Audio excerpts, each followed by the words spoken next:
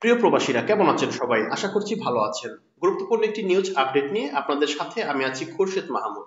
মূলত আগামী নয় ডিসেম্বর থেকে দশই মার্চ পর্যন্ত যাদের রাতের ফ্লাইট রয়েছে, এই ভিডিওটি তাদের জন্য অনেক গুরুত্বপূর্ণ। কারণ সিভিল অ্যাভিয়েশনের পক্ষ থেকে ইতিমধ্যে একটি ঘোষণা দিয়েছে যা বাংলাদেশের বিভিন্ন গণমাধ্যম ও দৈনিক পত্রিকাতে প্রকাশিত হয়েছে।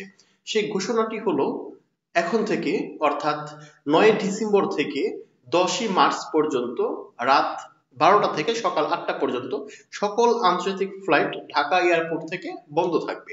কারণ হিসেবে তারা জানিয়েছে যে আন্তর্জাতিক মানের রানওয়ে এবং ট্যাক্সিওয়ে নির্মাণের জন্যই এই ফ্লাইটটি বন্ধ থাকবে। শুধুমাত্র নয় ডিসেম্বর থেকে দশই মার্চ পর্যন্ত রাতের ফ্লাইট বন্ধ থাকবে, সেই সময়টি হলো রাত বারোটা থেকে সকাল আটটা পর্যন্ত।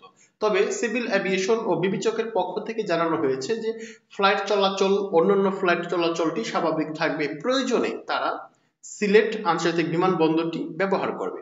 সুপ্রিয় ভিউয়ার্স ভিডিওটি এখন যারা দেখছেন এবং পরবর্তী দেখবেন, ভিডিওটি অনেক গুরুত্বপূর্ণ, তাই আপনার পাশে থাকা যে সকল প্রবাসী ভাই ও বোনরা রয়েছে, তাদেরকে দেখার সুযোগ করে দিন, ভিডিওটি শেয়ার করে দিন। আমি সাথে ছিলাম খুরশেদ মাহমুদ।